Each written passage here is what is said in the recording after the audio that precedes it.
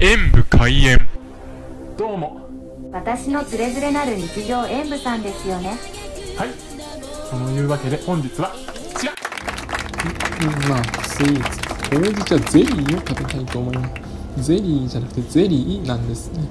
まあ、何の違いがあるのか分かりませんが、まあ、スイーツで、こんな風に、下にはムースも入ってますね。抹茶とはまた違った美味しさがありそうです。では、あーっと、プルプルですね。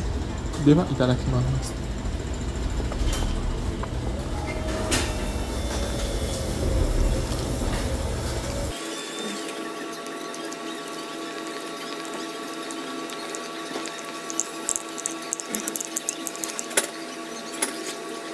ゼリーには味はそんなになくてどちらかというと食感を楽しむ感じですねそしてムースの方に手につってほうじ茶の苦みが程よく出てきますねほうじ茶甘さ甘さ控えめで苦みが感じられて大人の味わいでとっても美味しかったですが欲を言えばもうちょっとあんこがあってもよかったかなとも思ってしまいました。